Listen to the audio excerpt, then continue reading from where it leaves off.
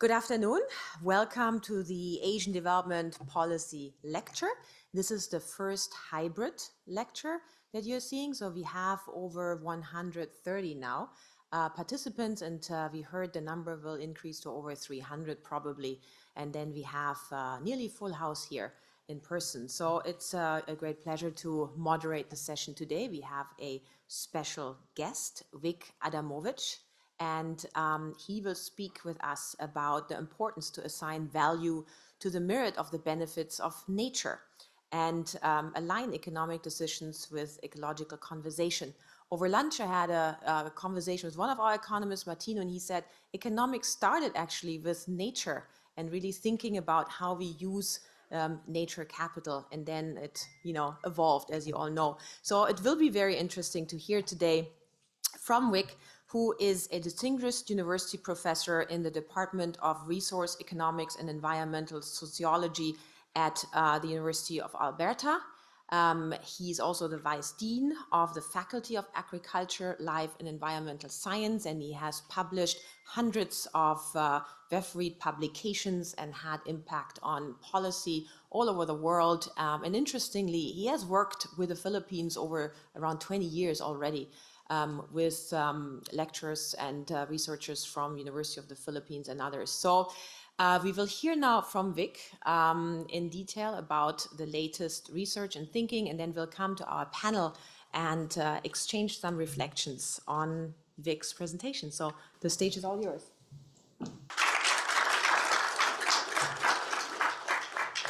Thanks, Susann. It's really a pleasure to be here. It's a pleasure to be here and the wonderful people I've met and to see old friends and colleagues that uh, we've been friends for years. So it's really great to be back in Manila. Uh, Martino's been an outstanding host. Thank you very much. It's uh, it's been really a fantastic time. And I'd love to talk about this subject. So let's let's talk a little bit about ecosystem service valuation or natural capital valuation and economics and policy. Um, I had to start with this old picture because it's a little grainy, but that's that's me and a bunch of folks around a computer. Maybe even some of the folks in the audience see themselves in that picture uh, back in 2010 in Manila, um, not too far away, teaching courses. So it's nice to be back in the region, and it's nice to continue to chat about these types of issues. So what am I going to talk about? Um, why would we value natural capital and ecosystem services? Um, what for what purpose? Um, what is it? What methods do we use? Uh, maybe a little reflection on whether it's actually made a difference. Uh, most of these would be from the developed world examples that I have, but where has it shown up in policy or in decision-making where it's actually had an impact? Um, what challenges are we facing associated with the valuation of natural capital? Um, It's not all finished. It's not all perfect, which is good because it keeps people like me in the research world in business and keeps us busy trying to think about how to solve some of the challenges.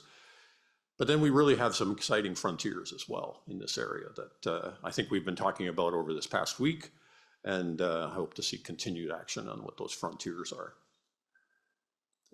Actually, maybe even before I start, you know, when I was reflecting on this last night, I was thinking you know, think about all these economics and investment decisions and large-scale projects and how do they affect natural capital and how do we incorporate that. I really think it's, you can almost think about it as a personal issue. I think about the last home that I bought with my family. It's an investment. It's probably the biggest investment that most people make. And nature played a role. We had a park nearby our house, and we thought, "Oh, yeah, that's nice. That's fine." Maybe there was a bit of a trade-off that we perhaps liked that park, and so we maybe had a slightly smaller house, perhaps, but we were able to live next to the park. But the value that that natural capital has provided for us, for the children when they were there and small and able to participate and enjoy that, and we could watch and interact with nature, the value that was generated during the pandemic, that we had access to nature, that we could go out, and you saw property values rise associated with places that had proximity to nature. So we've learned, we've learned more about the role of natural capital in our investments and maybe think more about, well, maybe there are really important trade-offs to be made there and judgments about the value of natural capital in that kind of decision-making that we make personally And here we'll talk about it for broader scale decisions of investments and policy and such. And I think there are really some parallels between what we as individuals do and the way that we think about trade-offs and values, and also how we make these kind of decisions at national or regional scales. So why value ecosystem services? And why do it in dollar terms? I mean, there are many ways to value natural capital and systems from a, a broad philosophical perspective, but I'm an economist, so I'm maybe very reductive, and I think about doing this in dollar terms. And I do it in dollar terms because that gives me a common measuring stick. I can then compare the importance of the natural capital in monetary terms against other elements, the importance of other kinds of outputs or goods and services, and where's the right balance or the right trade-off. And that gives me a measuring stick that I can use. And I can use that in this, as on the slides, investment decisions, including investing in nature. I think we're going to hear later today about maybe we want to invest directly in nature because it's valuable for us and we want to realize that value. Um, financing green investments, also avoiding depreciation of nature. If it's something that's valuable to us, maybe we want to reinvest in it to bring up the value of that asset, or we want to restore something that we've damaged, and I'll have an example of that in a minute. In a lot of cases, it informs regulatory analysis. If we have a particular regulation that we're trying to put in place for pollution control or for you know, some other transportation decision, maybe the environment needs to play a role. What are the environmental benefits from those policies or regulations? What are the environmental costs? And to talk a little bit about the possibility of using these methods as compensation for damages. If somebody harms the environment, should they be held liable for that harm? And could valuation play a role in sending a signal that this is important, that nature is important, and that there could be a fine or a penalty associated with that damage? There are a couple of frontier issues that I, I want to talk about. One is that economists usually think about the value in aggregate. What is the value to the country or to the region? But we also need to think about who wins and who loses, or who wins more and who wins less, the distributional impacts of our policies. We can think about that through an environmental valuation lens. Who benefits most in terms of the environmental value from a particular policy? Is it people who are already wealthy, or is it poorer people who benefit? We can then think about how we would assess that kind of trade-off and what we're doing to the distribution of income. And last, I'm going to talk about some things that we've seen very recently in the literature is that nature's values are increasing over time. And we have to think about that as we plan for the future. If we're doing investment analysis for 10, 20, 30 years, those values are increasing over time. So let's talk about some of these examples. This last slide and last point in bullets, the, th the thing that really makes me most excited about this field is just the change over the last decade the advances in the tools, the science, the data capabilities, the technology that students are now deploying that really advances our ability to think about values, but also to think about where and who and how people benefit from nature services.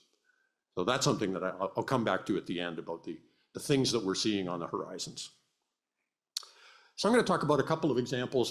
Some of them are a bit self-serving because they're ones that I've been involved in, but they're the ones that I can speak most comfortably about. And this is work that we did in, in Panama. And it was an interesting problem. It wasn't an investment decision in terms of a new project. It was really to try to address a problem. And as some of you are aware, because of climate change and, and drought conditions, sometimes the Panama Canal has less water in it has draft restrictions. And that affects economic activity. That affects revenues from the canal to the government agencies, it affects the livelihood of people.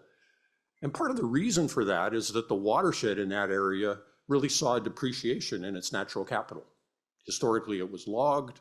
The watershed wasn't able to store the water through time. And so it went away from the landscapes. It didn't stay in the canal. And so we had this imbalance that was created.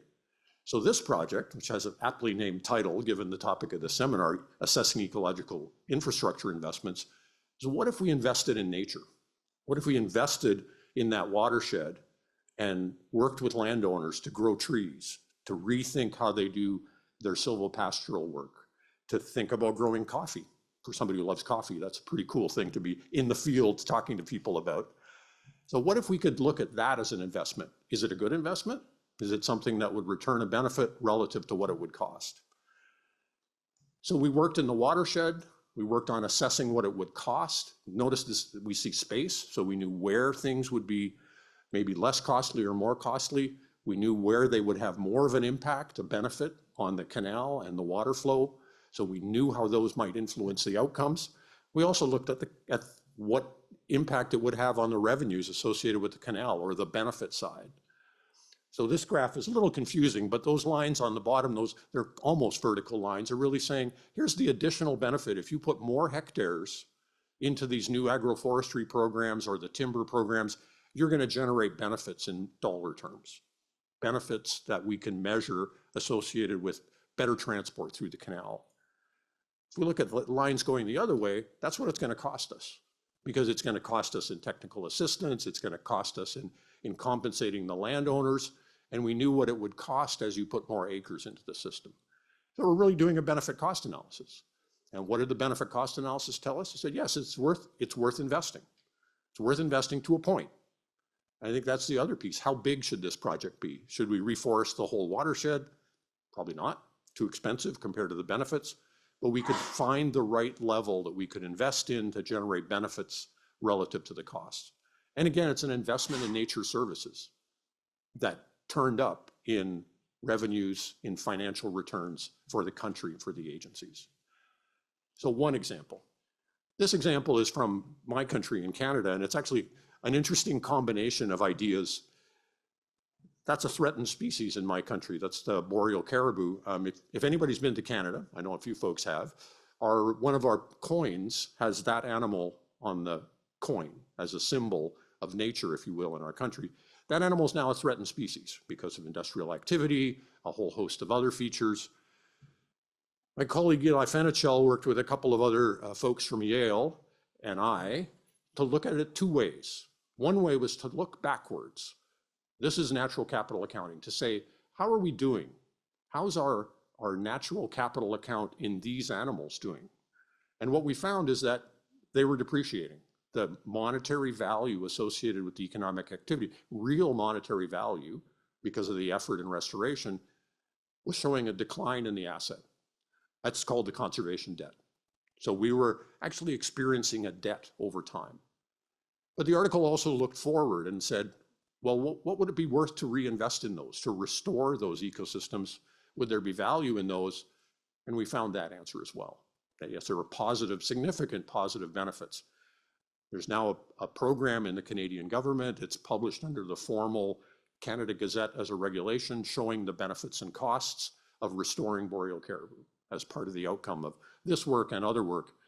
I think it all also lines up for some of you may have been here last week for Eli Fenichel's lecture on natural capital. Natural capital is really giving us a scorecard to say, how have we done over time, the natural capital accounting methods. What I'm talking about is the looking forward side for benefit cost analysis, how do we value investments in nature? Do they generate returns for us? So both the backwards and the forwards looking came together in this work. The other thing I mentioned was compensation, and, and of course the cases that we have in North America are what are the penalties for damaging nature? And an institutional framework where if, if an entity does harm to natural systems, that makes the public worse off the public could be compensated for this. This is the Deepwater Horizon case. I've never seen the movie. I don't know if anybody's seen the movie. Apparently, it's a very good movie. Um, I can't bear watching it, but it's a, it's a case where there was damage to the natural environment. The mechanism there is to send a signal that there needs to be compensation to the public. So the determination of that compensation is part of environmental valuation. How do you measure that number? How big is it? Obviously very interesting discussions about how you measure it and how it gets distributed. But maybe more importantly, it's actually a signal to, to entities of various kinds that if you do harm to the environment, there could be a penalty. That's true in the institutions in the United States. It's true in the Canadian institutions that fines and penalties can be determined through environmental valuation if there's a damage to the environment, particularly one that's associated with a liability. So another example of where valuation links with nature and ties in with economic policy. This is very recent work, um, just a little over a month ago, uh, published in Science, that tells us that these values of ecosystem services in real terms are increasing through time. And we need to capture that in our investment analysis and our benefit cost analysis. Uh, theoretical work as well as empirical work just showing how that's happened over time and how if we don't factor that in, we're undervaluing the contribution of na na nature to our benefit cost analysis. So another reason to think about nature services. Accounting for equity. As I mentioned, who benefits more, who benefits less, or perhaps who wins and who loses. Again, over the last decade in my profession, this has been the interest of students. They really want to work in this field to understand the distributional impacts of policy and how they can address environmental justice. And environmental valuation plays a role because it helps us understand where those benefits flow, benefits or costs. Um, this is one of my colleagues, Amy Ando, who's written some fantastic work about how do we build equity and cost effectiveness into valuation, in this case around biodiversity conservation. Because we have to think now not just about the, the size of the pie, but who's getting the pie in different places. Last example I'm going to present, and this is not so much environmental valuation, but it's really the linkage between nature and economies. This is work out of the World Bank. Uh, Justin Johnson out of the University of Minnesota was the lead of this work. Partly this illustrates the advances that we've made in the field. And there's a lot of words and acronyms on this slide, but essentially what they're doing is they're taking a global trade model, an economic trade model, GTAP, and linking it to ecosystem services models saying how those ecosystem services will affect our economy and our trade and trade patterns. And one of their projections is a bit depressing, a projection, is that if there's a shock to the system, to the ecosystem that's uh, described in this particular scenario, there'll be significant declines in GDP. Not, a, not an economic welfare measure, but a signal of what our economies are doing. And you can see that they've also split them out regionally, that the shocks will be distributed differently across the world just a fascinating data initiative, uh, machine learning and a whole host of other new technologies to try to link nature and our economies. So how do we do this? Well, for me, it's really linking people, people's behavior, people's preferences back to nature. Some of it comes through market goods because nature helps us produce food, it helps us produce forests, it helps us with fisheries. It's part of what we combine our own knowledge and skills and capital to generate. So those, those are one piece of the natural valuation studies. Um, of course, we've been learning recently, over the last couple of decades, about the value of uh, greenhouse gas emissions or the cost of greenhouse gas emissions. That's another connection. I put a question mark beside it because it's not clear that that's really a market good. We do have carbon markets, but that social cost of carbon and in my part of the world, we're talking a lot about, those are big numbers on what the cost of emitting another unit of greenhouse gases. That's really generated from the impacts on human health, from the impacts on labor productivity, impacts on coastal properties and property value. So it's affecting multiple markets in that context. And that's again a connection between nature, climate services, and our economies. The area that I work in is more on the non-market side, so things that aren't typically traded in a market. But here we have to do some detective work. We have to look at the linkages, even though these goods and services are not traded on a market, they still show up in our market data, in our choices, and our behavior. And I'll show some examples in a minute. Or in some cases, we know that people have preferences over these kinds of goods and services, but we have to have other ways to understand those values. And our last method is really using the fact that we've invested in these kinds of studies and how do we apply them to other regions or other cases. We'll talk a bit about benefits transfer or value transfer. So how do we do it? Well, we look at the connection between these environmental or non-market goods and observable behavior. People travel.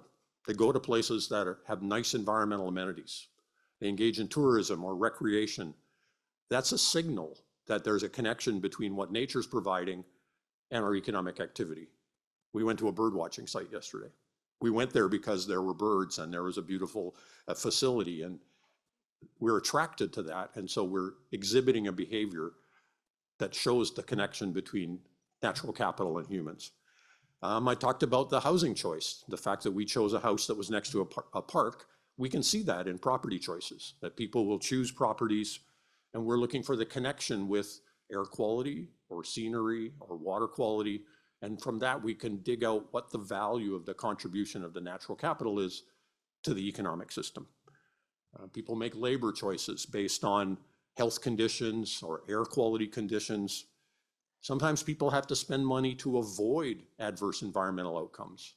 And if the air is not clean, you might purchase an air conditioner or you'll purchase a water filter to address water quality issues. So there are real expenditures to try to address environmental quality challenges.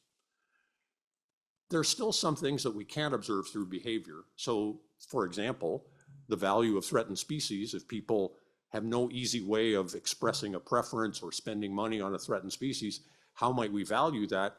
Well, over the last 40 years or so, we've made significant advances in what I call highly structured surveys to try to have conversations with individuals about what trade-offs they would make. That's another mechanism that we would use. And as I mentioned, we'll also engage in value transfer if we have studies in other locations. What are some of these values? This is a bit of the flip side of it. How does nature influence economies? Things like water quality, water treatment costs, purchasing of water filters, health risks, those tie into our economic system. Flood risk reductions. If there are wetlands that serve to reduce flood risk, that protects properties, that's a real economic value. Climate services, we already talked about the fact that greenhouse gas emissions affect climate, that will have an impact on health, on productivity, on properties. Um, recreation and tourism, non-timber goods and services. Yeah, again, yesterday in the area, we were learning about medicinal plants and the services that those plants play. They're not typically traded on markets, but they have value. We can observe that behavior, noise reduction, visibility, a whole host of ways that our behaviors link to nature and link to the way that we can think about measuring economic values. This is a bit of a linear diagram, but I, I, use it as a mechanism to think, think through the problem. If we're investing in a particular project or if we're evaluating a particular policy change, we can measure what change that has on the ecosystem. How does it affect the ecosystem? Is it going to make things worse? Perhaps there are pollution problems or there are land use problems. Is it going to make things better? We're going to measure that ecosystem service change. We're then going to see how that affects people through their property choices or their health impacts and then we're going to value those changes. It's a real combination of different disciplines. Again, that's my favorite kind of work is work that cuts across disciplines and work with other scientists to address this issue. But it also gets us the entire link between what the investment is and what the outcome is. And if we don't have the direct methods to value these things, we might use benefits transfer. This is a more recent example. This is brand new work out of the US Office of Management and Budget they're describing exactly the same processes that they're emphasizing for use within regulatory analysis in the United States. Similar kind of diagram, regulatory change, changes in social systems, changes in natural systems, how do they interact? What's the change in welfare, human well-being? So new mechanisms, new guidance documents that are really helping us improve the way that we value natural capital. That's a list of methods. Let me skip by that one. So how's it worked? Check my time here. I think I'm doing okay. I'm going to talk about three kinds of examples of, again, this is from my part of the world, US, Canada, and some really exciting things out of the UK. Uh, I think there are three places that could serve as, in some cases, examples, but there are others around the world. Um, the US EPA has been using something called BenMap. This is a benefits mapping tool. Um, they actually have workshops so you can apply this in other parts of the world. They've had workshops in Asia, transfer this tool to other places. What do they use it for? They use it for regulatory impact assessments. So if they're proposing a new rule that changes air quality in some way, they're evaluating the health impacts, the productivity impacts associating with that natural service associated with air, and including that in the benefit cost or the regulatory assessment, including it in monetary terms. And over time, you can see cases where the inclusion of those natural services has really changed the decision. If you didn't have those initially in the analysis, you might have made a different decision about the ruling or the regulation. So BenMap has had a, a, a tremendous impact in the way regulatory analysis has been done. The US has also recently, and Canada has adopted the same approach for measuring the social cost of carbon. Well, how do we measure what the impact of greenhouse gas emissions is going to be? The monetary impact is measured through the social cost of carbon. In the US, that's now incorporated in a number of states through how they price electricity, for example. The cost of carbon emissions is being incorporated into that, into regulatory analysis. So that's counted when you have a new project and it generates greenhouse gases. That becomes part of the cost ledger. A quick schematic, it's a bit of a busy diagram, but I think the takeaway from this is this is an assessment of regulatory impacts, impact analysis across the US over several years. If you look at that gray area, that's the use of BenMap. So that benefits mapping tool dominates the decisions within regulatory impact assessment. So it's the tool that's used to try to inform these regulatory changes. In my country, probably the biggest and most sophisticated initiatives have been around air quality and health. So the health benefits per ton of emissions is a, a project uh, initiated by Health Canada so that wherever you are in the country, if you're designing a new project and you know there could be air quality changes arising from that project, you can use this tool to measure the economic value of those, plus or minus. You can build that into your benefit cost analysis or your regulatory analysis. And similarly, they're looking at investments in health, health risk reductions. How do we design new policies, design new strategies? That's the health impacts of air pollution. Shows up in our regulatory analysis. If you look at the, the published descriptions of regulatory impacts, they'll include these kinds of numbers. Those are air quality, mostly around human health. I think there's a couple of really interesting initiatives out of the UK. One is Orval, spatially explicit recreation values in economic terms. So if you're investing in a, a, project, water quality, restoring a wetland, does it have an impact where it boosts recreation? If it does, and you know the location, you can use this tool to try to identify that monetary value. You can factor that into whether you want to invest or not. Spatially explicit, very interesting tool. They've scaled this up the colleagues at uh, Exeter, to now that's something they call NEVO, Natural Environment Valuation Online. If you look at that bottom section, sorry, the chairs may be in the way, um, tool that brings together spatially explicit data. This is the new thing over the last decade. Exactly where is this project occurring? What's changing? What are the monetary values of it? Linking land use change, ecosystem services, climate change, tying them into helping us make decisions. This is incorporated into the UK's environmental assessments and how they actually can make decisions, but the public can also use it, which I think is an interesting outcome. And in Canada, we have a couple of tools, and I know there's lots of interest in advancing these tools around benefits transfer. Uh, databases of values that can be applied, sometimes in spatially explicit, explicit contexts, and used for different kinds of investment analysis. All right, we can't think it's perfect. There's still work to do. There's some challenges. Um, I think one of the biggest challenges is the extent of the market or the accounting stance. So what, what does that mean? If I'm doing an analysis of an investment that has an impact on nature, whose values count? The country, the region, the globe? the number that I get is going to change depending on who I decide counts. If it's just the country, that's going to be smaller likely than the region or the globe. And where I think we see this is in the social cost of carbon. This is a terrifying picture, but I, I like to talk about it because it really brings things home. This is from work that was published a couple of years ago, uh, Tamma Carleton in the Quarterly Journal of Economics. This is the projection of the mortality impacts of climate change up to 2100. Red is worse, blue is better. So what does this picture tells me, tell me? Well, firstly, it, it says that if I emit greenhouse gases, in principle, it has an impact around the world. It also has a different impact in different places. Some places worse, some places better. So we have a distributional context, but we also have a global impact. So what's the right accounting stance? Again, in the regulatory assessment in the US and Canada, the suggestion is global. That's challenging in some institutions and jurisdictions to think globally, and there's opposition to that approach. So that's one of the most interesting, vexing puzzles that we have. Another example of this kind of accounting stance is global tourism. Now, these numbers, they, they kind of shocked me when I first started looking for these. 10% of global GDP is associated with tourism. Even if it's half of that, that's a big number. Now, who gets the benefits from global tourism? Yeah, there's some benefits within a country. There are benefits in a variety of ways that we can measure, but often it's people outside who are flying in. Do we include those people in the benefit cost analysis, in the investment analysis? How do we do that calculus? So it's another example of what exactly should be within the bounds versus outside the bounds of our investment analysis. Second challenge is that uh, we want good evidence.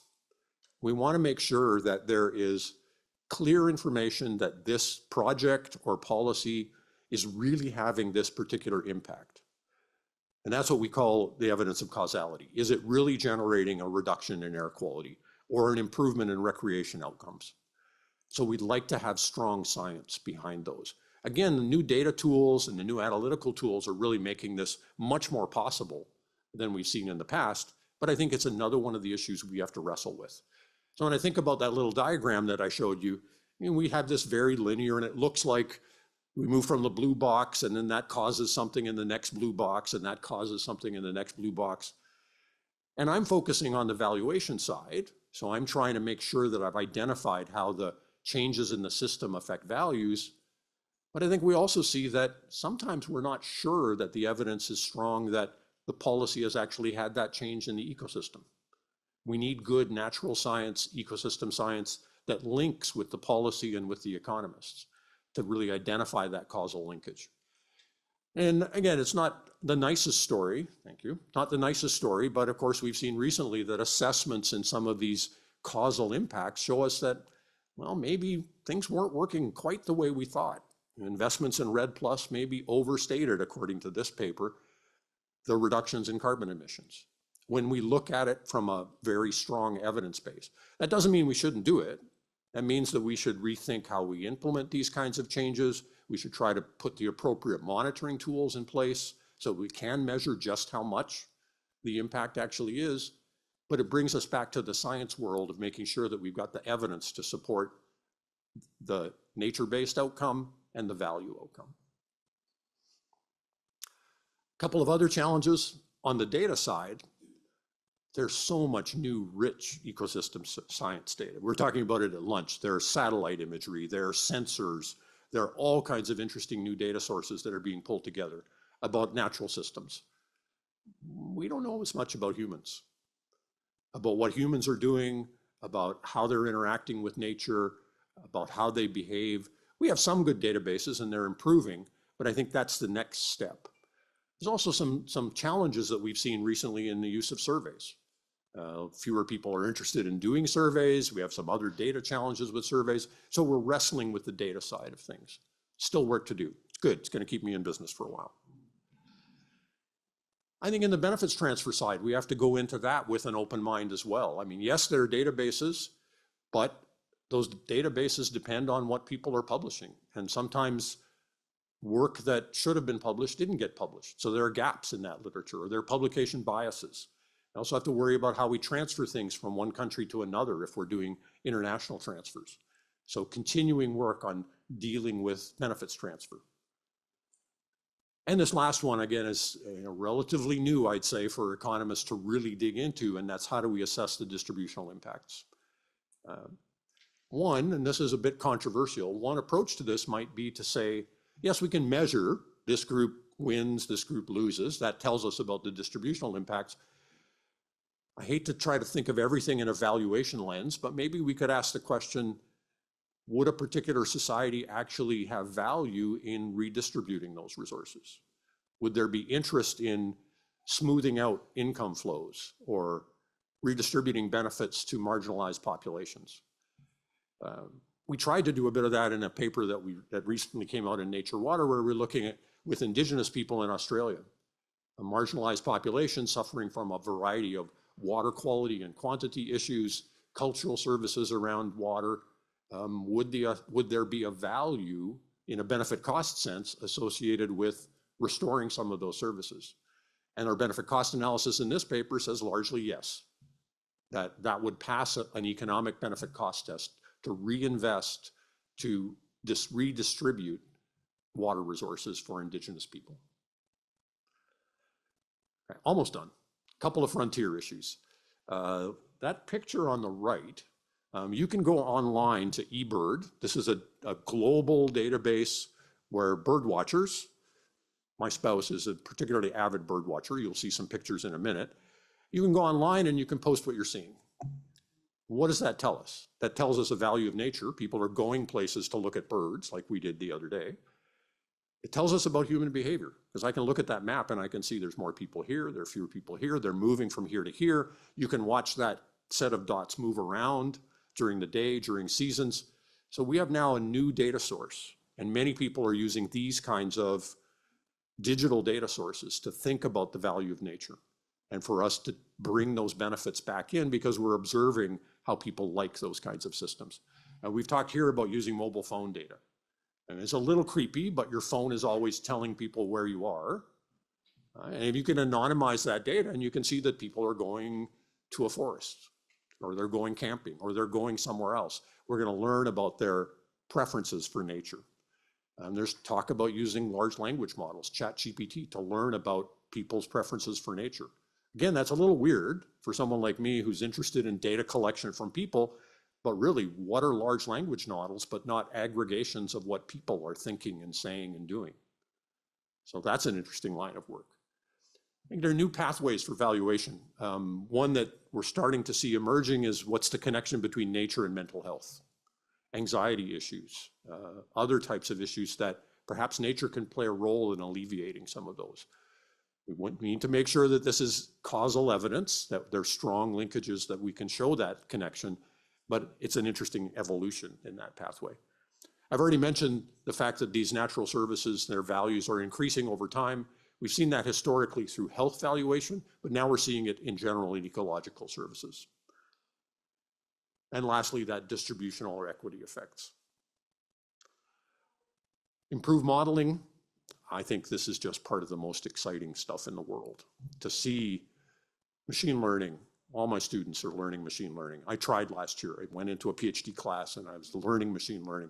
Kind of blew my mind, but it was fantastic to see the capabilities with new data sets, bringing them together, using artificial intelligence to identify what we're seeing in terms of patterns of behavior, interacting with the ecosystem. And then building those integrated models. The people in that class were from various disciplines. There were geographers, there were economists, there were ecologists. They were working together with the same tools, the same science tools that bring together data. Then they talked about the problem from their different perspectives. Again, pretty exciting stuff. I wish I could go back and do another PhD now. I need to go back about 40 years and try this again. So let me wrap up. Um, I think, and especially over the last decade, we've seen tremendous improvements.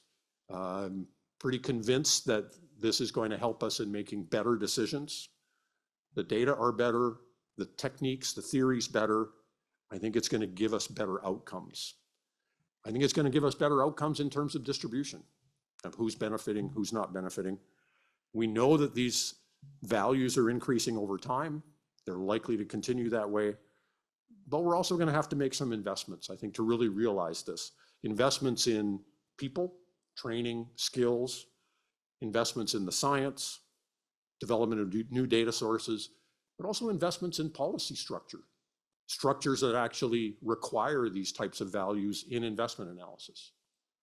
And I promised the birds, so I'll end off with one of my favorite sources of natural capital.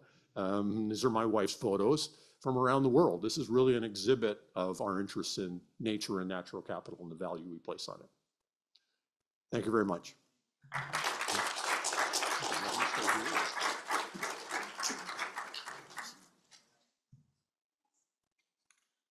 Okay, thank you very much. Um, this was uh, very comprehensive. Made some notes for questions. So if we can now invite the panel, please. Um, we have Virginia Bathan. She's from the, um, uh, let me make that a ratio, from the statistics department. She's the chief, chief statistical specialist at the Environment and Natural Resources Account Division of the Macroeconomics Account Service. So if you can come in, uh, please, Virginia, you have experience with introducing um, natural capital accounting. So we'll hear from you how this works. And then we have, uh, please, Mr. Roy uh, Dacumos. He's from the National Economic Development Authority. So you'll share with us a little bit about the policy landscape. And then we have uh, Duncan Lang.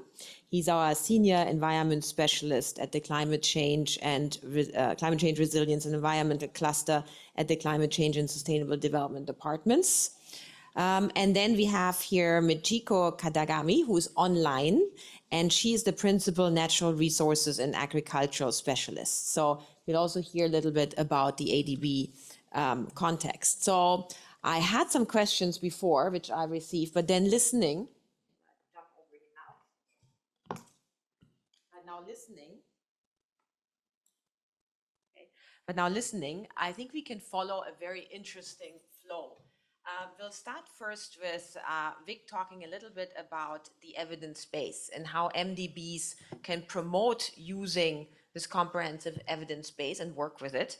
And then we'll hear from, um, then we'll hear from uh, Virginia a bit more about the data situation in country, for example, in the Philippines.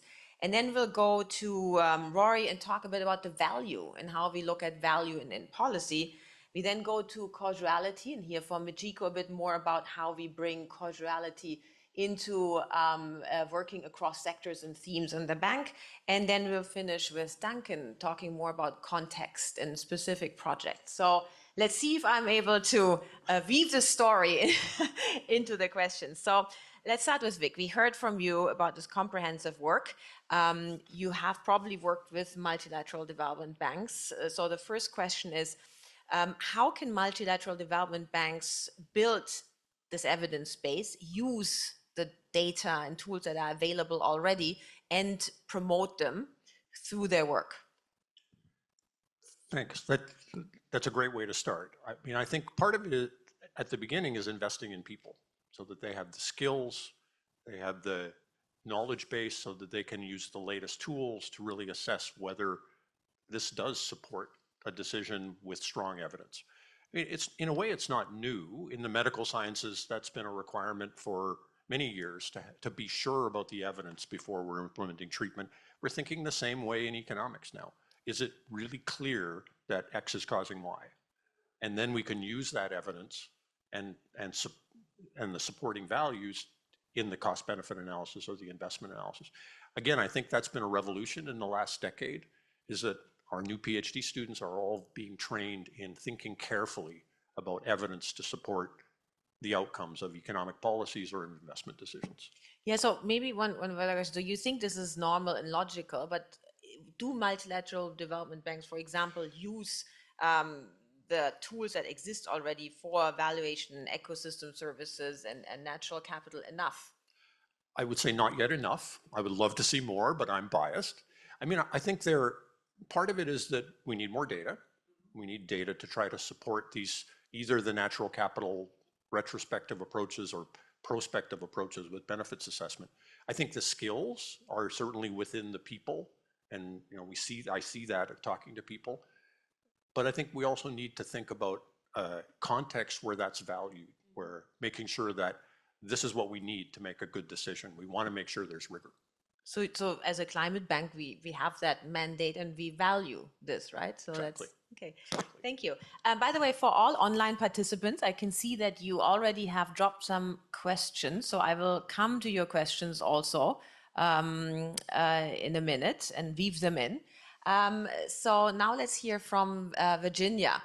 Um, we heard, you know, we should use evidence. Definitely, the MDB should promote using evidence and, and using especially these, these tools for natural capital evaluation. Evaluation. How are you doing this in, in your role? What what do you need um, to get this data, use the data, and what has been your journey in the Philippines to introduce natural capital valuation? So thank you. Um, for the Philippines, uh, we have a long journey. I think um, the evidence is there with our experts who have been there through times. Um, this started since um, 1990s from the Philippines um, during the environmental and uh, natural resources economic projects. Uh, it's the ENRA project during the 1990s, and the salient feature, I think, it's from the 1997 when the, an executive order 406 was established um, with the Philippine Environmental and Natural uh, Resource Capital uh, Accounting System, which is the PINRA. And um, way back 2014 up to 2017, we have the World Bank project, which is the wealth accounting projects. And um, as for the Philippine Statistics Authority, we have an output on the mineral accounts of the Philippines, which is currently being updated by the PSA. Um, and also we have the pilot areas of, uh, in terms of the mangrove ecosystem accounting uh, in Pag- Pagbilao area. And I think um, it is also, uh, the DNR also have um, some uh, waves project pertaining to the Laguna Lake development in the Palawan. And um, right now, uh, 2014 up to the present, we have continued the PINRA, PINRA project, which um, uh, funded our um, national and subnational compilation of environmental accounts to site. Uh, we have um, the regular updating of the mineral asset accounts of the Philippines, which uh, follows the or adapt the system of environmental economic accounting central framework. And also we have the energy asset accounts. Um, for the minerals, we have um, the four metallic minerals of gold, copper, nickel, and chromite. And for the energy resources, it's also an asset. Uh, we have the coal, natural gas, and condensate, oil and condensate. And we have developed also the water flow accounts, which uh, when we say flow accounts, it's the interaction between the natural uh, water as a natural input, um, which flows to the economy and within the economy and uh, what goes back to the environment as emission. So um, we are also working, uh, we have ongoing development, research and developments on several uh, environmental account following the um, SEEA Central Framework and the Ecosystem Accounting Framework, uh, wherein we, uh, we are engaged into the land accounting with the UN, uh, statistical divisions, uh, technical assistance, and also we have the timber asset accounts. The um, we have also the um, material flow accounts that uh, were uh, it's uh, underway uh, to also connect with the PDP uh, Philippine Development Plan results ma- matrix, and also uh, we have a lot of energy flow accounts and. Uh, right now, we are also engaged in environment statistics and disaster-related statistics. So the issues and challenges occurring to, to our compilation is in terms of the data, the availability of the data that would fit into the framework, and also uh, the consistency with the system of national accounts since we are uh, on the macro side, macroeconomic uh, service side, and also, um, yeah, the human capital, which is in terms of the capacity building that uh, um, that we have right now. Since uh, our division, the Environment and Natural Resources Accounts Division, composed only of nine plantilla position. So as you can see, there are lots of demands out there, and we have um, the ongoing uh, bill that is still underway for signature of our uh, principals uh, on the, in terms of the it's in the Senate and uh, uh, for it's on the, on the way now. So um, lots of data available, although not consistently, and you need a bill, a policy um, to kind of institutionalize that. Uh, yeah. Actually, we have the um uh, in 2022 we the NEDA uh, along with PSA and the and the Department of Environment and Natural Resources launched the um, uh, roadmap to institutionalize the natural capital accounting, which is a tool um, uh, for uh, accounting not only the individual resources like the renewable and non-renewable, but also the ecosystem services that it's provide. Um, the salient feature, as I may, uh, which the individual uh, accounts will be compiled by the Philippine Statistics Authority, while, while the site-specific ecosystem account will be compiled by the Department of Environment and Natural Resources. Okay, thank you. So um, when you listen to um, Vic is uh, and you hear you know what and obviously you stay on top of that uh, what's happening outside. What would you need in an ideal scenario? Would you want to have more people, more resources, um, more policy? Uh, what do you think is required to advance uh, this work? I think one is the human capital. Uh, it's so happened that the framework is there. There are lots of uh, suggestions on what to compile and what the country needs in terms of the circular economy, the low, low carbon uh, policy, and also uh, how we value the natural capital vis-a-vis with the gross domestic product, uh, it, how we will going to align this with uh, uh, the gross domestic product in terms of adjusting the macroeconomic indicators. So um, in the policy, yes, in the institutionalization uh, roadmap, we have the component two, which is the um, progressively, the Philippine Statistics Authority will do the adjustment in terms of the macroeconomic indicators. So this will be done through um, uh, recently the 2025 system of national accounts been uh, has an on- ongoing revisions including the um, chapter on the sustainability of the well-being which includes the natural capital accounting for specific uh, assets or or for specific accounts like the land, natural resources, ecosystem, um, environmental activity, and others. So the, uh, we're looking forward to the framework, and um, in lieu of that, we need people and we need capacity building uh, in terms of um, the people. Right now, um, our division is uh, relatively young. we have younger people, yet um, they are good in technology, but uh, we need to be trained, uh, particularly on the framework itself and how.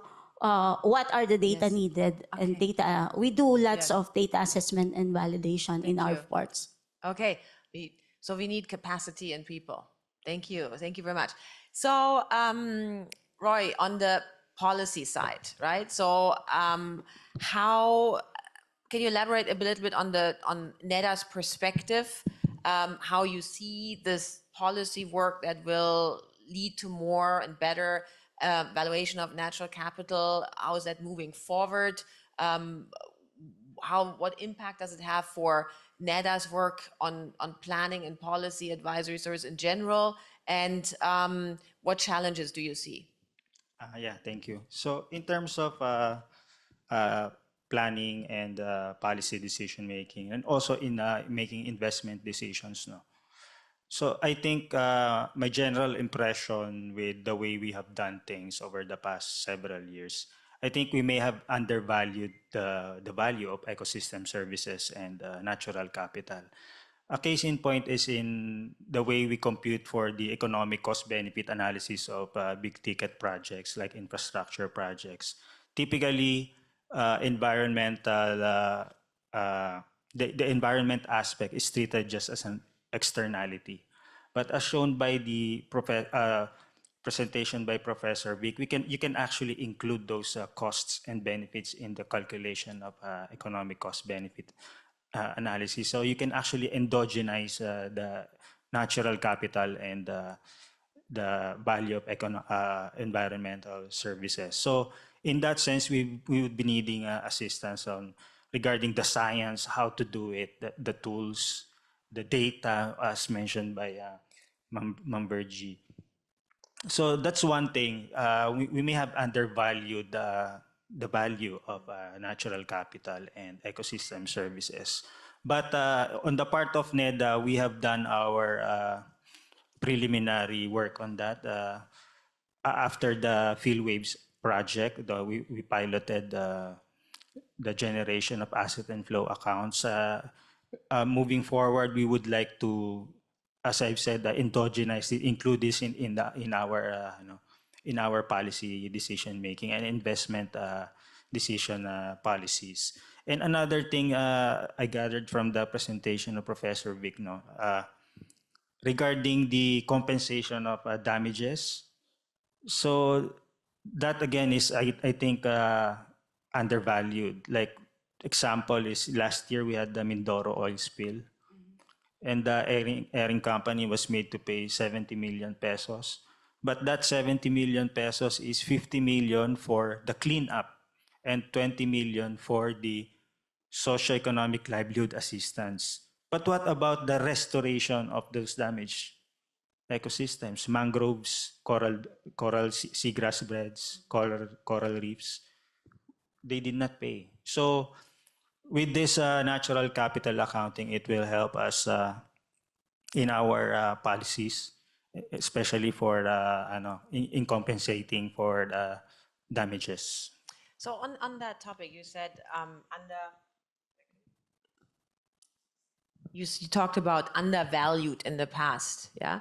What uh, do you think is required in terms of communication to get also buy-in from the population of, of the value of natural capital? Uh, what, what, what, what sentiments do you think are in the population?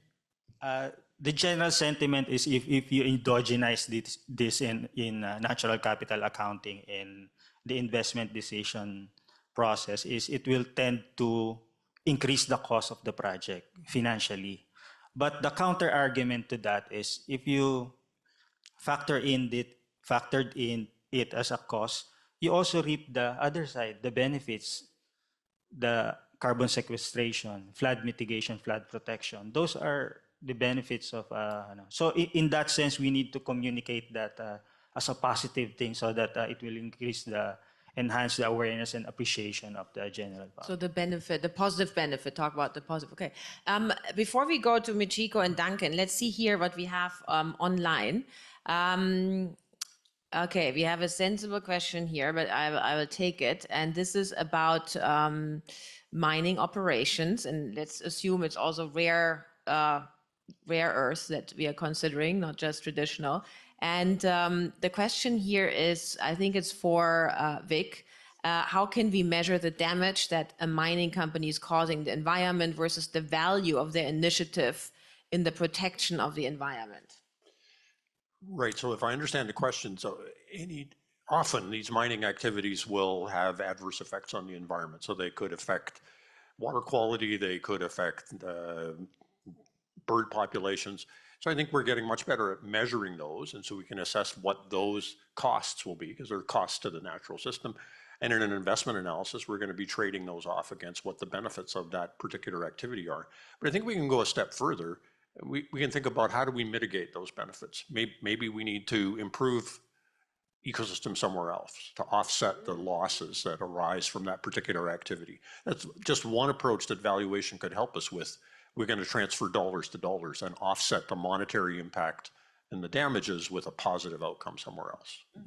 Maybe on the positive outcome of something, there's one question which is um, interesting, very specific uh, already, is actually, um, so if you do an evaluation and establish a per hectare value of mangrove ecosystems, for example, for rehabilitating and recompensating from that investment in mining somewhere in, in, uh, in the ocean, uh, will it be okay to limit only selected ecosystem services for mangroves, or should it really be the total economic value of all Um, uh, of all uh, ecosystem services? So I have two points on that. Yeah. One, one is, in principle, yes, it's the total economic value that arises from that specific location. So if you've removed a mangrove, there are a variety of different benefits that are going to disappear.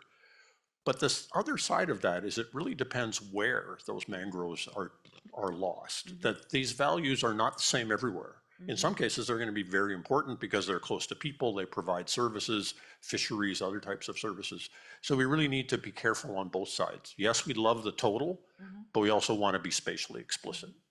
I think this is a very good segue now. Um, sorry, Michiko, that you will come now last, but to Duncan, um, uh, because of the, the project impact. So, in which way can ADB, because we have the regional overview, assess certain um, uh, benefits or certain negative impacts from investments um, that uh, that affect the local ecosystem? Yeah, in, in, in relation to what that means for other places of in, in, in the region uh, and their ecosystems. Uh, thanks, Susann. So um, I'm probably quite a rare person in ADB that I I look at the safeguard side of things, which is kind of managing the negative, but I'm also in charge of an initiative which is uh, trying to scale up the nature positive side of things. Um, so I would say on the negative side, with regards to the, um, you know, the drivers that are reducing that biodiversity or reducing those ecosystem services. Um, this is an area, as we heard, that has been traditionally we've not been doing so much on. And actually, under our new safeguard policy, which is going to come out uh, later this year, we've actually got some specific mention of ecosystem services that we, where we identify places where there are those values that they, we, they need to be assessed and brought into assessments. So that will then mean moving forward that there's a kind of a general baseline of, the level of ecosystem valuation for our projects and where the, those values are higher, then you would have to do more because of you know the benefits that those they provide to different people. Um, but maybe on the positive side, because I lead a, this regional flyway initiative, um, what we've seen is that um, you know the when I first started, I, I like birds too, right? And uh, when I go and talk to the governments, you know, much as I would love it if they like birds, they don't. You know, they're not that interested in birds, unfortunately. Um, they like, uh, you know, they have a development agenda. They have to deal with, um, you know, being re-elected to the government. They have all these other things, poverty, etc. So that's when we started to talk about ecosystem services much more, and we tried to kind of tell the story about all those ecosystem services that their sites, which small and minor wetlands, provide regional public goods. And for example, I think the number that I have in mind is 65 billion is prevented, averted loss damage to 15 million people per year from uh, mangroves in the Southeast Asia and Asia region. So that is a benefit that is being provided. We don't know where these typhoons will hit, etc. And those um, the mangroves are providing that service. So, you know, this is a regional public good, is uh, my flyway, and um, our sites all linked to each other as well. So um, you have one bird that stops in, in one country, it may go to another. We actually have shown that they, they do do that. So um, by linking to a bigger initiative, we're able to make impact. And I think that's one way in which ADB at least can kind of try and drive changes by linking all these different small interventions together to deliver something at scale. Thank you. So um, maybe on that, uh, um, and I know Michiko, you, we need to show her now, so otherwise I'll make sure. Um, so Michiko, listening to the conversation so far, right? And and we had some discussion with, um, I mean, Vic mentioned the issue of causalities. Um, how do you see that um, development banks are helping governments to um, think about causalities and also maybe um, uh, inter-government or inter-country relationships and impacts um, when we have these policy dialogues and and this, this uh, and talk about the investment decisions. So causalities between investments and development projects and causalities between investments in countries which are connected through na nature and nature public goods. Thank you. I think uh, I think this causality discussion. I think it's going to be easier to discuss at the bigger picture, in a globally when its climate story is clear, no, and also the country level and a specific landscape. But when it comes to granularity of this, the who's actually causing what, you know, who's benefiting out of this uh, mitigation of this that the, the adverse impact, I think it becomes very very blurry one thing that I want to bring into this uh, discussion is that the way we, um, by the way, I'm representing the agriculture, forestry, and natural resources sector group today. And the way we look at this uh, nature-based solution, we're, we're doing this at the ADB level, recognizing the sustainability issues of the public asset. And it's, it's very, very important. So there's a drive, even though we have a corporate target, and then there's also the funding made already. But uh, so this, this ADB's um, investment decision making part, there's a lot of this, uh, in, you know, interest in trying to apply this uh, um, valuation natural capitals. But I think I think there's an earlier discussion, like you mentioned, you asked the, the Susann, and also this uh, um, Professor Vic already answered that yes, we, we should do a lot more of this application of this so that we would have a little bit more specific building the cases of specific project is impacting, you know, that the benefit is this and that in the put the dollar terms. That's very important to push this agenda forward. So that's the ADB story. Now, when you go into our primary target beneficiaries, rural farmers, rural communities. We have 350 million smallholder farmers. That's our target um, priority uh, target uh, beneficiaries. When they go ask about this a nature-based solution, evaluation of that, that's not the priority that they have. They have uh, you know, they're concerned about more income in the present than the future sustainability because most of them are not wealthy. Most of them drive, driven by this uh, the today's earning and next year's earning, perhaps. So there's a temporal sort of discussion is ongoing about the development bank comes in say this is good, country comes in say this is sustainable, this is valuable, valuable, and they don't have an immediate sort of uh, the in, incentive to invest into that. That's the that's clear from the evidence, literature evidence. Um, for example, this deforestation. I think there's a PES um, uh, ecosystem. Uh, the payments was made for the forestry farmers. If the level is, is too low, they will not care about so much about the sustainability. This is the 20 years, 10, 10, 20 years commitment that they have to make when their concern is narrowing down as one year or two. Um, also, liquidity problem becomes a lot more concern for them than the future long-term sort of benefits. Um, there, when it comes to farmers, quality of this uh, sustainability of this water and the quality of the soil is really lifeline but they don't have sort of luxury to care about that in the present time. So that's a problem. So I, am really interested in just that the how the discussion will go. And then we see this that ecosystem services closely linked to the food, um, food security issues. Not just for the environment, and then the and it's directly linked to the adaptation capacity when it comes to the the, the when you think about the 10, 20 years time. So this very, very important top subject. Yet this valuation we have to look at a little bit more the distributional issue.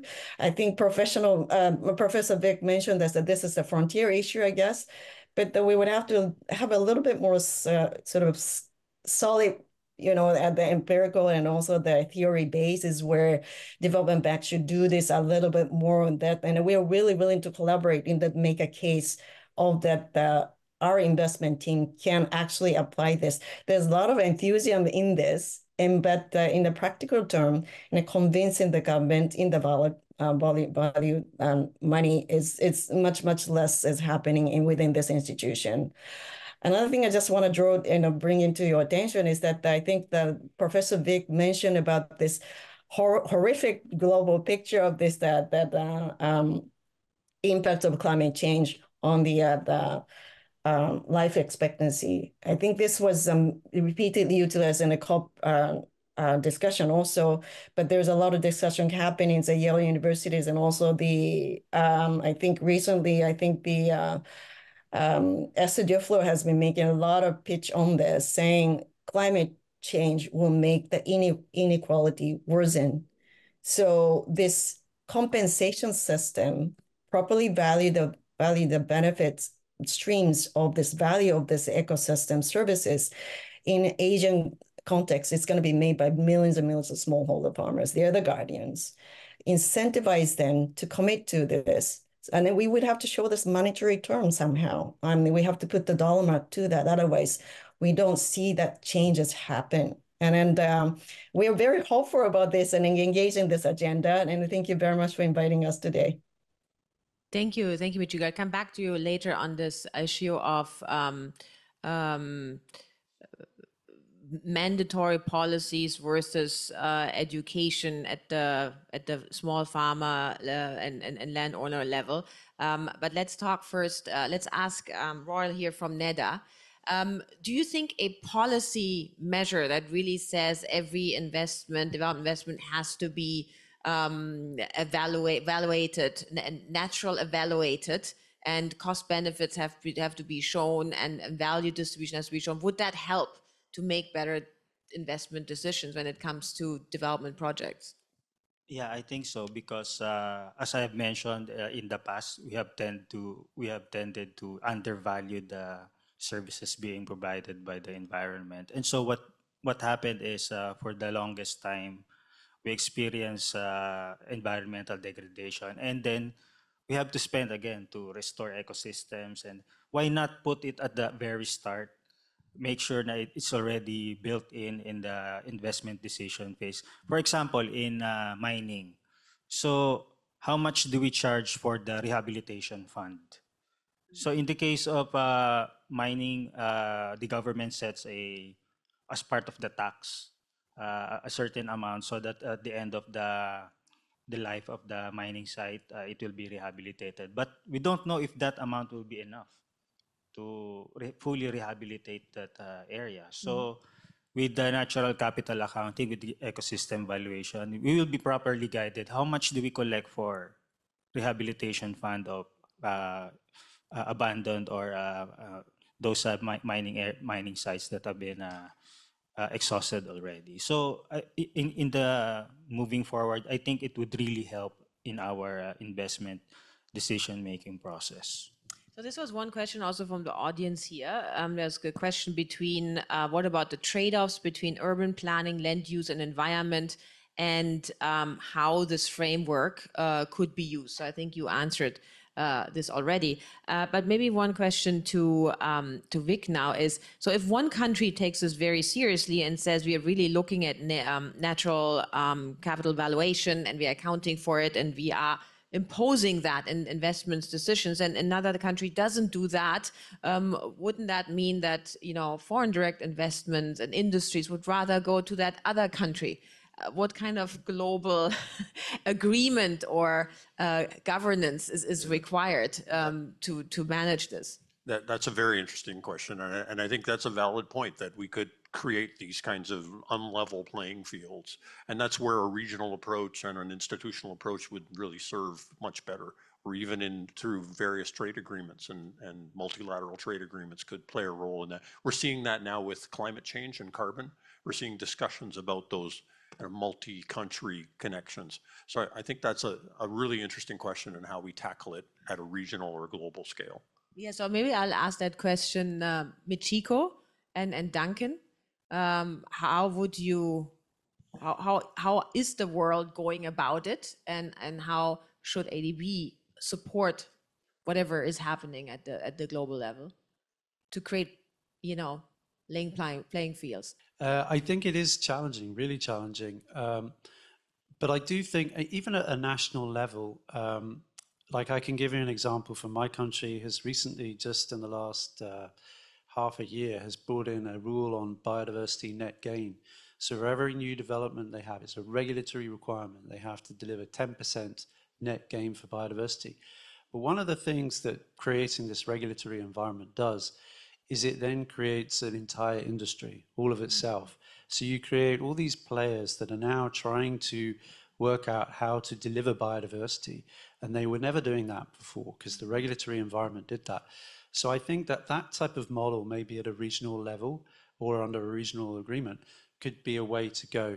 But there are many of the international conventions, you know, the Convention from Biological Diversity, um, you know, many of the the requirements for these international agreements are um, not mandatory necessarily. People sign them, but they're not ratified, that type of thing. So I think that's maybe a way to go and scale up. And then maybe you would create these regional trading platforms where, um, you know, people would be willing to invest in biodiversity, but it also creates its own uh, industry itself, if you like. Thanks. Thank you. By the way, for the audience, so if you have a question, please come to the uh, microphone so that we also can take questions here from the from the live audience. Um, while you think about your question, because I hope that you will ask questions. Uh, back to Michiko. Um, Michiko, what can you give some examples uh, where ADB has incorporated the valuation of natural capital and ecosystem services in designing projects, like specific project examples? Unfortunately, I don't have my own project doing that, but, but, but I tell you why that why it's not really happening. But in Vietnam project, for example, if there's a the rural development project, they've been taking the certain sort of uh, valuation of the ecosystem services in, incorporated into that, and in in fact. ADB doesn't really apply the specific methodology of this valuation setup. It's it's not really set up, but uh, it it, the, the procedure values the assets and the, the ecosystem sort of the services from the, for example, there's a typical project is that, that we've been doing in the Vietnam is the watershed management project where this up uh, upland the community does the sustainable the forest trees and the embankment of the uh, the coverage and it's the reforestations to secure the water sources and the sustainability of water flowing down to downstream. The downstream community is willing to pay for that uh, quality of the water uh, for example, that sort of uh, services that, that the system or the landscape investment that has been happening. But it's a very small scale and also the valuation of ecosystem uh, services was very, very low. So take up, I think, is the take up by these participations of the upland community was not really that that we expected. But uh, I think a recent project, I think Duncan might know know a lot more of this example that what is happening in the investment. There's a lot of technical assistance happening, but in, when it comes to investment, we're not really. We we should do a lot more. Interesting thing that we're going forward. What we're doing is now is in Laos, for example, that we're doing the forestry development project. We're looking at all this aspect of this uh, new sort of a uh, mechanism for the upland lowland, and also we we particularly looking at the distribution aspect to sustain the forestry system because it's that they're they're facing a dire problem where, you know, the farmers uh, because of the commodity price hikes, they want to they want to plant uh, cassava than so keeping the, the nice forestry for just a subsistence sort of uh, the forestries uh, picking of this non-timber forestry products. So it's becoming a little bit more like a business you know this harsh business at a competition about what the um, guardian of this that the land uh, users the land resources and water resources is choosing to do um, so it's about the evaluation of natural assets, but also we would have to think about this, uh, go a little bit beyond to make that, create a business incentive that works for the whole entire, you know, landscape or economy. Yeah, so we have an interesting question here from um, Jinge, and um, maybe that's um, I don't know if it's that it's I mean relevant for everyone because you can you can um, apply it also to a government um, situation. So the question here is ADB is currently updating its result framework for its indicators for the for the current strategy. So you can say the same thing for a national government, which is updating a national development strategy. And the question is here is, could any of the speakers share their views of the meaningfulness of ecosystem services as a progress indicator for sustainable development in general, given practical considerations such as current status of data availability and so on? So could we actually have it as a um, as a results indicator that we are helping uh, to use ecosystem serv- support ecosystem services and invest in those. Maybe for you, Vic, because it's a difficult short academic answer? question. Yes, Yes. definitely. Okay. Yes. Yes. and- I'm and looking at. We have someone here from strategy department. Okay. Looking at at him here. Yeah, I think, and, and that's really the, the natural capital framework. Th- That's a measure of sustainability. If, if that value of natural capital is declining over time, that's a sustainability indicator. Whether it's at a regional scale or a national scale, or even sometimes at a watershed scale. Yeah. It's a way to, to monitor and measure and then react if Yeah. we're not sustainable. okay. Yeah. So, um, would you like to add to that, Virginia? I think in the Philippines it's quite um, early to to to say, but um, we really need the basic data. Like um, for us in the Philippine Statistics Authority, we we are compiling the physical, the physical asset accounts, the physical flow accounts. Why? We need to strengthen that. Though we uh, we really need to know the the how many stocks are there in the environment like for for the minerals for the energy for the non-renewable since it's it will not uh, once extracted it will not come back in the end time of your lifetime. And um, how uh, the production or the extraction really um, uh, from year to year uh, going what's going on within the production. Since you're going to extract um, non-renewable resources and also for the water i think um, uh, for the physical supply and use of water you, you'll be able to know who um, who who uses and who's uh, where is uh, the sources of this water came from uh, and then we we can measure the efficiency of the use of these resources. So um, moving forward, since we are computing for these three um, natural resources and we try to uh, take the monetary aspect on that in terms of the um, net present value or the uh, natural resource rent. So this uh, will um, be our uh, source for in terms of uh, reference in the adjusted macroeconomic indicator since um, uh, we're going to value also what are the effects on this in terms of the ecosystem services like uh, the provisioning service for water, for the energy resources and the mineral resources and the likes. And also our developmental accounts, which uh, like the land, which we um, use the land cover statistics, um, the changes on the on the, on the, the land itself uh, on the cover will tell us what happened during the 2015 or during 2020, what happened to the land cover of the Philippines. Um, and this physical physical assets or physical flow will eventually be an input to the adjustment of the macroeconomic indicators in the future. So it's an evidence base, um, even though that um, this will not clearly or um, uh, we have some some SDG indicators that we come up like for the water, it's uh, the water use efficiency, the level of water stress, even though um, it's just in the physical form uh, uh, how it is being um, um, factored in the, the in terms of uh, who uses uh, so much water, Yeah. uh, what type of industry, and uh, where is the water uh, being um, abstracted to. So- So, that's that's the point. Um, it's a reference to uh, even in the ecosystem valuation in the future. Good, thank you. So, um, Roy, uh, one thing is to do this at the national level, but how do you incentivize or tell local government to actually measure sustainability and look for investments that create new industries and ecosystem services? Ecotourism was brought, brought up here, but really um, evaluate sustainable, evaluate and evaluate sustainability.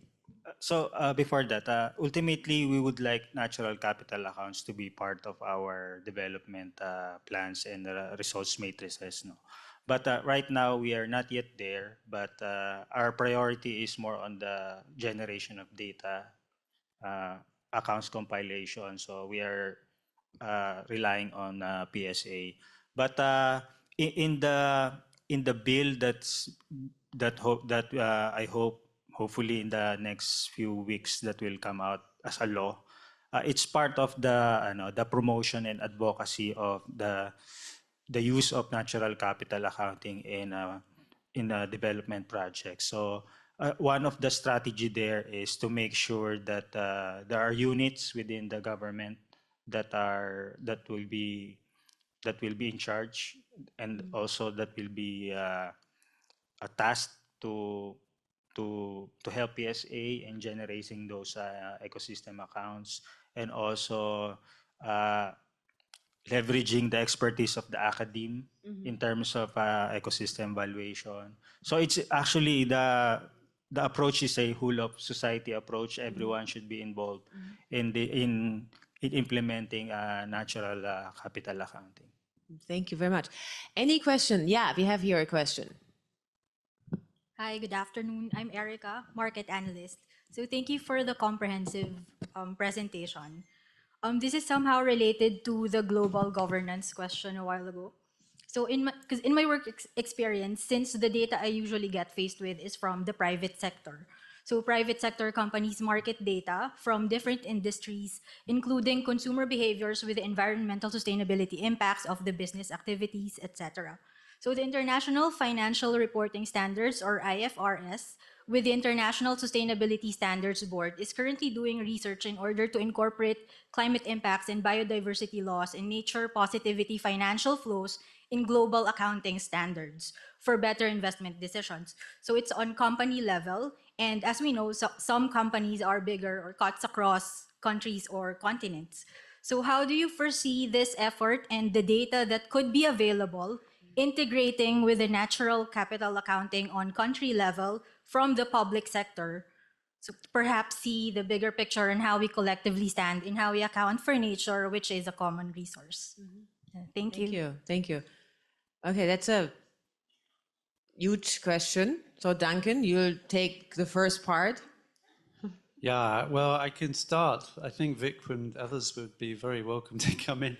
Uh, so actually, funnily enough, I actually do our sustainability report, and uh, we we do a report against one of these international benchmarks, which is the Global uh, Reporting Initiative or GRI. Um, the there's the trend now. There's the Task Force for Nature-related Financial Disclosures, which was the guidelines were launched uh, in September. Uh, ADB is currently thinking about whether we may or may not report against it. Uh, so IFRS as well. I think yesterday they they talked about what they were going to do, or they were going to look at biodiversity in that context too. Um, so I think um, most of the big MDBs like ourselves are kind of lining ourselves up to be reporting against these international standards.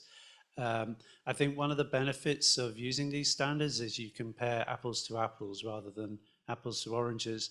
Um, we have internally created a number of um, taxonomies related to climate, uh, how we report climate numbers, and we have also done that recently for Nature Positive, which we launched at COP28. So I think we're kind of working on that stuff. But what we do in with the MDBs and then IFRS, where they have most of their people are private sector, is something slightly different. So we're kind of in this space at the moment where we're trying to work out how we can integrate ourselves within them where we need to um, at the moment. But I think throughout this whole integration process, there will be a lot more data that is available, uh, and that will then help with us to be able to manage biodiversity and climate uh, impacts better in the future. Hope that was helpful. Thanks. Yeah, I think we have to wrap up. So I hope that you can get the rest of your answer from um, uh, the rest of the panelists after we wrap up here this um, uh, seminar, this webinar seminar, hybrid seminar. Uh, um, so maybe to summarize here, what we heard is there's a lot more evidence available and there are a lot more ways to generate evidence on the uh, impacts of nature, the benefits of uh, protecting nature and creating um, nature services, uh, natural nature services. We heard that data is being generated, but it's still difficult because we still need to build capacity all over the world in developed and developing countries, especially as the uh, tools are changing and we are creating a lot more integrated data systems and we have now AI, which hopefully helps us to make it faster. We spoke about the value. So we need policy to show that we value nature. We need, of course, also more education of the population. We need to change um, that people, you know, don't value fast investments, quick money now, but actually the sustainability. And then we heard about um, causality across different sectors and how we have to think about that and communicate that differently. And we heard about the context. So investing in one country, in one specific province has an impact maybe somewhere else in the world and uh, we can leverage that, but we also can also, of course, uh, create um, difficulties and harm with that. So the, the role of the bank, obviously, of ADB is to, to promote this a lot more, to support capacity development, to use these tools, to integrate them, and to make sure that our investments are nature positive and um, support how we value, invest, and uh, protect and uh, regenerate nature. So thank you very much for everyone. There is, especially for the panelists, big hands of applause for you. For you. Um, we have another um, series of the Asia Development Policy lectures, and it's um, in May 23. And this is about um, elderly, right? Aging population, is about aging population. There's actually some interesting connection because aging population is good for the environment. There's some research on that too, but I think that's not the topic of the webinar. So with that, thank you very much. Good afternoon uh, to everyone. And uh, once again, thank you.